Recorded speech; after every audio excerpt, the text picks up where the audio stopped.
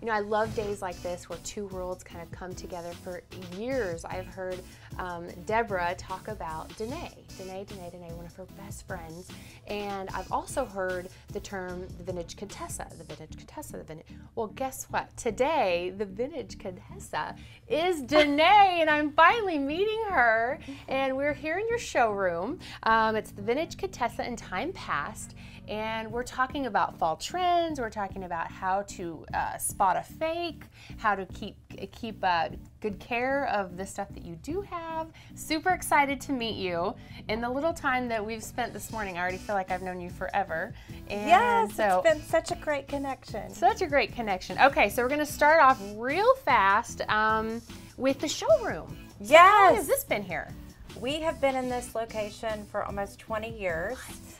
And I didn't come on board until 2011 full time. But Rob goes all the way back to starting to collect coins when he was just a little boy at five. And Rob is her husband, yes. who we're actually going to meet here in a second. Yes. Okay. We've always been a wholesale showroom and really focused on doing shows internationally. And with the Vintage Contessa, we wanted to become more of a retail arm of the business and now we share a name when we've always shared a location. That is so neat. Yeah, well, I, I, love it. And you walk in here, it smells good. It smells like leather and all the nice things. All right, so we're going to start off with with fall trends, which yes. we've got uh, some over here. So take well, the miniature is back. There is always a trend. You should really just do what works for you. But I think it's a great fun thing, especially for little munchkins. But this is the uh, bag that's called the TPM Evelyne. There's a larger Evelyne. This is the baby size. And of course, the most coveted bag in the world, the Hermes yeah. Birkin. I know. I'm like, can I hold it? I'll just pretend for a moment. It's so beautiful. Very and cute. that's the it's other fun, size. That's the other fun thing about our store is so many places that sell luxury don't let you come in and hold it and touch it. And when you come to visit with us, you get to play with it and Instagram it and show all your friends yeah. that you have one. Uh huh. And then all oh, these little Chanel bags. Yes, the great little Chanel's and then the monogram Louis and a little wallet. So oftentimes these are more of an accessory just to accessorize your outfit and you could put your perfume and your lipstick and your credit card and just hold your phone, which many of us do at parties anyway. Yes. So we move on to more of the playful bags. This was a bag from a recent collection of Chanel. It's the cigar bag from the Havana collection. And it's so collectible, very few were made. Backpacks are really popular, but this one has the Louis Vuitton limited edition with the cool painting on it. And this is repurposed scarves. Mm -mm. So many brands are embracing sustainability.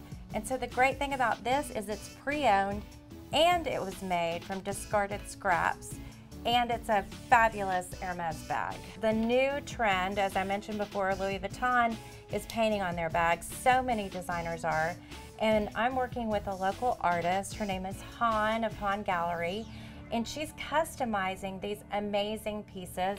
We did a collaboration with our friend at Macaroons by Patisse, and this is one of the pieces we designed for that collaboration together.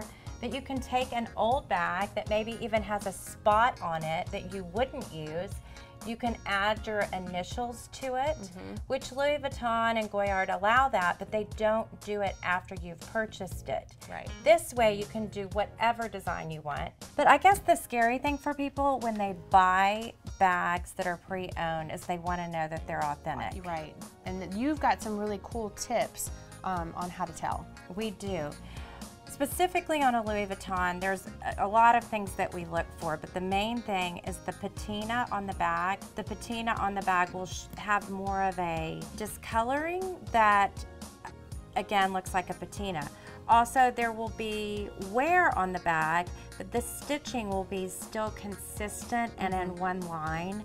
Another odd thing when you do it for so long is the smell of a bag. Mm -hmm. Sometimes you just smell it and you know that it doesn't smell right. Right. We have all of those delineated on our website and there's things that we can tell you about if you come in. Awesome. Well, thank you. Okay, so earlier we had mentioned um, your husband, Rob. We're going to bring him in right now to talk about timepieces and all the things. Men men need to appreciate um, nice things as well. So let's bring in Rob. Well, keeping a lady happy is always a good thing. They say happy wife, happy life. Yeah. But with our watches, um, predominantly what we sell are men's watches, even to women. As I, I love the big, bold, chunky. it is. It's a great fashion look right now, and also you can see the time easy.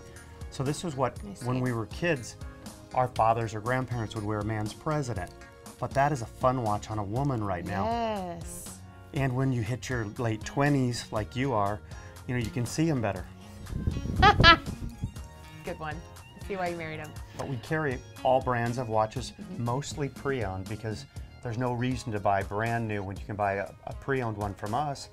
We give a couple year warranty on them, make sure everything is right, and um, saves you a lot of money. Very, that way you can buy more watches. Yeah, exactly, and that's what it's all about. Or, or more Some- stuff for your wife. Sometimes more is better, right? Right? Yes. Okay, well, thank you for having me, and it was so nice to meet both of you. And for everything you saw, if you want to get connected with these two, you can go to greatdayhouston.com. All right, now I'm ready to play.